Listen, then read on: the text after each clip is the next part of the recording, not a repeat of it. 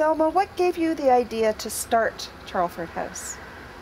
Now, I was bringing home women who were too sick to put back in the situation that they had left, keeping them overnight and sometimes two, three days because I had a spare bedroom in a converted store apartment that I lived in. So lo and behold, it took a whole summer actually of 1969. The house was obtained and uh, financed by the social worker of First United Church, but it just solved all of my problems and gave me a whole bunch of new ones. I gave up my apartment and so on and, and moved into this house.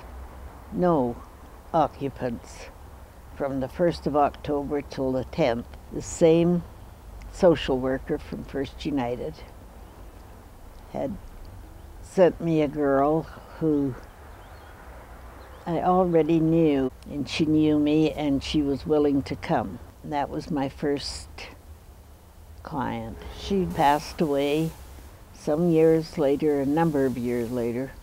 She had cancer, and uh, but she passed away sober.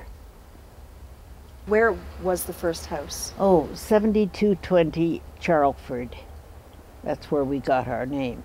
Charlford Street is a little one block long street out in South Burnaby. It uh, proved to be quite adequate when we got it straightened around. There was a great deal of straightening to do. Eventually got it so that it did run. You know, there were ladies who stayed sober.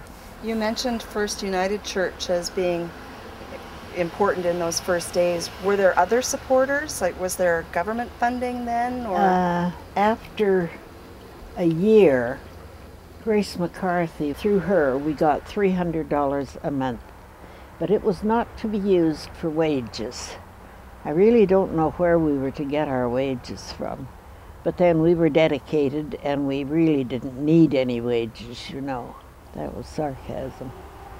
Because, well, in your time off, you have to live somewhere, so where do you live? The first couple of years, I didn't have that to worry about because I lived there. And then uh, they got me a helper, the same social worker at First United had given me the money to get this car, second hand, of course, or third hand. She had given it to me on the condition that I not tell anyone where I got it. And I said, Oh, well, I have to tell Lorne. And she said, All right, you can tell him, but make it clear to him that uh, it's not to be anyone else to know. So I did, and uh, everything was fine as far as, and no one else was to drive it. Then we had a, a change of government. We had the good times rolled for a while. The, uh, we got a, a decent amount of money to run the house on, and I acquired a partner in. Uh, that she came in one week and I came in the next week, and it worked beautifully for us. When you're doing something you love, you don't care how many hours you put in a day or what you have to give up. You just do. And that was the way it was with Jen and I. She was as devoted to the house as I was. Was there support from the local AA community? Was that part of the support as well, Thelma? Uh, yes and no. The uh, the old timers, I'm afraid to say, didn't give me support. They uh, felt that it's being tried. You know, we had a house, it went belly up. Another one said it won't work. They don't stay sober. You, they come in and you can't force them to stay sober. Nobody ever tried. I mean, if a person wasn't willing and didn't want what we had, well, then they could go. And I let them know that right at the beginning that uh, you're in no way forced to stay here. It's not a jail, it's a recovery home. With some of them, they appreciated the value of that, and others didn't. So, and they went back out and drank again, of course. What a typical day was like. A typical day was newer ladies didn't wish to say anything, but they listened. And uh, sometimes after two or three months, they actually heard. I remember one lady who said to me, Thelma, I think you know what you're talking about, but I don't have a clue. and I said, Oh, well, dear, you just keep listening and you will eventually know. And at three months, she said, I know what you're talking about. She became a very dear friend to all of us. Anyway, then after uh, our meeting was over, everyone was free to do their chores, which consisted of making their beds and tidying their rooms and each one had a chore to to do vacuum or take the garbage out or whatever. In the afternoon everyone was free to read books, do whatever they chose. There were usually two people assigned for cooking dinner and uh, once we had our dinner and the dishes cleared and everything, we all got ready to go to a meeting. As I said earlier, I had been supplied with a car. Gas was 43 cents. Not a liter, a gallon, yes. A lady who was paying cash for herself, and that was a big help. We didn't have to go through the government for that. Otherwise, we were the girls that were on welfare after we once established that we were a halfway house, uh, recovery home, whatever you'd want to call it. It, it did happen. I mean, it was so much thanks to our First Lady had come to me through this lady at the United Church. And this was 1969, 1970. I think I had got raised to $125 a month and most of that I put back into the house. We changed governments and were given more funding.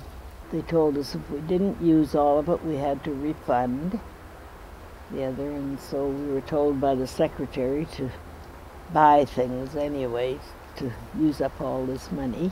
Things went quite well, and the women came, and some went, and some stayed we moved to Kitchener Street. And that was a joyous day. Vivian was charged with stealing a steak, and she had stolen it. And it was several months we got a notice that she was to go to court. That was fine. I went with her. The young fellow who had caused her to be arrested. He'd seen her steal the steak. Said, Oh no, that isn't the woman. They said, Yes. No, it isn't. She was sober about four months then. But oh, the change in her came out a couple times and helped me with my husband when he was ill. It's people like that that, you know, I love to remember. The magistrate just said, you know, it's out. He said, there's no, no case here, whatever, and threw it out. We've had a lady be in there and, and considerably wealthy woman, and she really had everything going for her, and she went back, went home, was drinking, and was killed on her way back, you know, and it was just just such a waste and such a tragedy. The women certainly felt it. All you can say is this too can happen to you. Why don't you tell us about your favorite Charlford moment or moments? Because I'm sure there were many. We had a rule at the house if you drink, you must not come back. And I had a very personal tragedy where a sister in law and favorite niece were killed in a car accident out in Surrey. So that shook the whole house up for a while, and a couple of the gals went out and drank over it. But other than that, you know, things ran quite smoothly. Good big moments were Christmas time. Loved Christmas.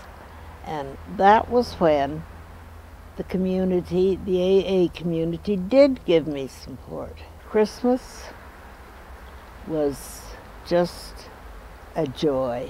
Everybody that came in, uh, you know, were quite happy. We let their families come if they had children.